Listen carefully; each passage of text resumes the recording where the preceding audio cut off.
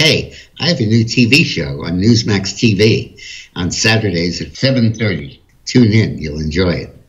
The impact of Biden's economic policies are beginning to be felt throughout the entire country and actually the world. The Federal Reserve Board just issued a statement saying that labor shortages, price increases, and supply chain disruptions are hampering the U.S. recovery.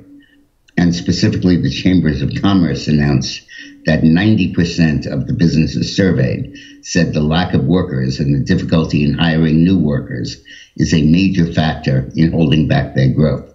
More on the other side of this break. To see the rest of this video, please go to dickmorris.com backslash subscribe uh, to sign up for my videos and columns. It's completely free. Or click on the link in the description box below.